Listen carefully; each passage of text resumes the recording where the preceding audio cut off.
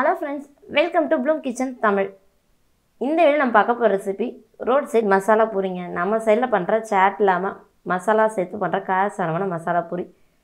ரொம்ப சிம்பிளாக ஈஸியாக பண்ணிடலாங்க. இது எப்படி செய்யுதுன்னு பார்க்கலாம் வாங்க.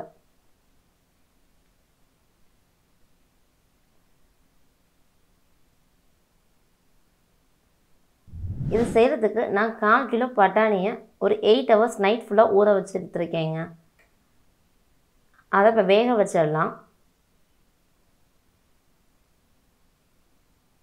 குக்கரில் சேர்த்துட்டு தண்ணி இது கொஞ்சம் முழுக்கல கொஞ்சம் அதிகமாக தண்ணி எடுத்துக்கலாம். மூணு உருளைக்கிழங்கு மீடியம் சைஸ் உருளைக்கிழங்கு மூணு உருளைக்கிழங்கு எடுத்துருக்கேன் தூள் சீவிட்டு இதில் சேர்த்துடலாம். ஓரளவு தண்ணி ஊற்றி வச்சு குக்கரை போட்டுட்டு ப்ரெஷர் போட்டுட்டு ஃபோர் விசில் விட்டுறலாம்.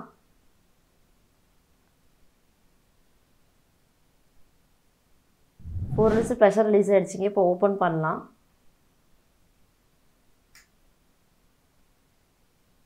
உருளைக்கிழங்கு எல்லாத்தையும் தனியாக எடுத்து வச்சிடலாம். பவுலில் ட்ரான்ஸ்ஃபர் பண்ணிக்கலாம். ஏன்னா மசிச்சுட்டு லாஸ்ட்டாக நம்ம ஆட் பண்ணிக்கலாம் உருளைக்கிழங்க.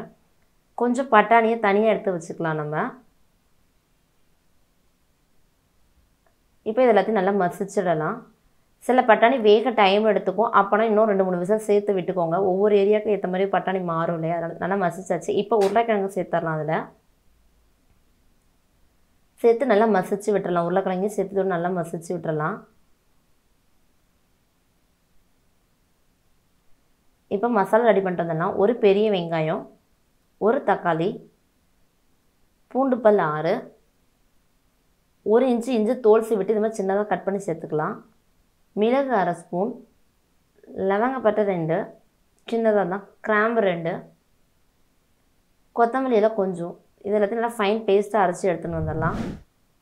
இங்கே பாருங்கள் நல்லா அரைச்சி எடுத்து வந்தாச்சு. இப்போ பேனில் ஒரு அஞ்சு ஸ்பூன் ஆயில் சேர்த்துக்கலாம். எண்ணெய் சூடானதும் கொஞ்சமாக ஜீரகம்.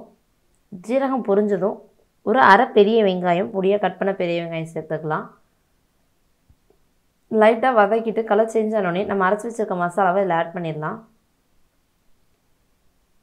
இதோட தண்ணி லைட்டாக மிக்ஸி ஜாரில் இது பண்ணி தண்ணி சேர்த்துடலாம். இது நல்லா சுண்டி வரட்டும் கொதித்து வரட்டும். தண்ணியெல்லாம் அப்சர்வ் பண்ணி நல்லா கொதிச்சு இங்கெல்லாம் மேலே சுருண்டு வந்துருச்சு. வாசனை ரொம்ப நல்லாயிருக்கு இப்போ மஞ்சத்தூள் கால் ஸ்பூன் மிளகாத்தூள் ஒரு ஸ்பூன் கரம் மசாலா ஒரு ஸ்பூன் உப்பு இதுக்கு தேவையான மசாலாக்கு எவ்வளோ தேவையோ அந்தளவுக்கு உப்பு போட்டுக்கலாம் ஏன்னா பட்டாணியில் நம்ம உப்பு சேர்க்கலை. நல்லா மிக்ஸ் பண்ணி விட்டுடலாம். அதுக்கப்புறம் உப்பு டேஸ்ட் பார்த்து உப்பு சேர்த்துக்கலாம். கொஞ்சமாக தண்ணி ஆட் பண்ணி இந்த மசாலாவோட பச்சை வாசனை போக கொதிக்க விட்டுக்கலாம். மிளகாத்தூள் நம்ம சேர்த்துருக்கோம் இல்லையா? அந்த பச்சை வாசனை போக நல்லா கொதிச்சிருச்சு. இப்போ குக்கரில் மசிச்சு வச்சுருக்கிறதுல அதை ஆட் பண்ணிடலாம். இந்த மசாலாவை ஆட் பண்ணி நல்லா கலந்து விட்டுறலாம் ரொம்ப சிம்பிள் சீக்கிரமே செஞ்சிடலாங்க. பூரி மட்டும் நம்ம எப்போ ஃப்ரீயாக இருக்கமோ அப்போ செஞ்சு வச்சுட்டோம்னா குழந்தைங்க கேட்குறப்ப இந்த மாதிரி சிம்பிளாக பானிபூரியும் மசால் பூரியும் நம்ம செஞ்சு கொடுத்துடலாம். நம்ம ஆல்ரெடி பானிபூரி போட்டிருக்கோம் வீடியோ அதோட அதை டிஸ்கிரிப்ஷன் பாக்ஸில் கொடுக்குற அதோட லிங்க்கை தேவைப்பட்டால் போய் பார்த்துக்கோங்க. இங்கே நல்லா கலந்து விட்டுறலாம். கொதி வந்துட்டால் போதும்.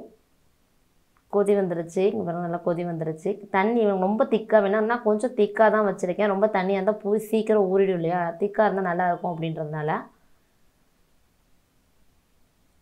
கொத்தமல்லி கொஞ்சம் தூவிட்டு அடுப்பு ஆஃப் பண்ணி இறக்கிடலாம். மசாலா ரெடி ஆகிடுச்சு இப்போ பாருங்கள் நான் வீட்லேயே செஞ்சதுனால நொறுக்கி தான் போட போகிறதுனால கொஞ்சம் பெரிய பெரிய சைஸாக தான் பொரியல் பண்ணியிருக்கேன். இது எப்படி பண்ணுறோன்றது ரெசிபி லிங்க்கில் கொடுக்குறேன் பாருங்கள் முன்னாடி ஆல்ரெடி போட்டிருக்கேன். ரொம்ப சிம்பிள் தான். உடச்சி போட்டு ஒரு அஞ்சு பொரி உடச்சி போட்டு மேலே நம்ம மசாலாவை ஆட் பண்ணிடலாம் கொஞ்சமாக அதுக்கப்புறம் கொஞ்சம் வெங்காயம் ஸ்ப்ரெட் பண்ணிடலாம் மேலே.